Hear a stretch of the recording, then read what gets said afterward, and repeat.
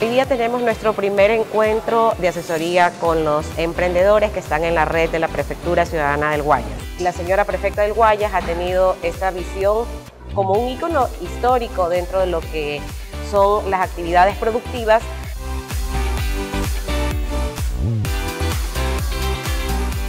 esta primera fase tiene una entrevista personalizada con cada uno de los emprendedores, con nuestro equipo de I+D, de investigación y desarrollo, para analizar cada uno de los productos, para pasar a un siguiente nivel. Un siguiente nivel quiere decir pasar a percha, eh, inclusive niveles de exportación.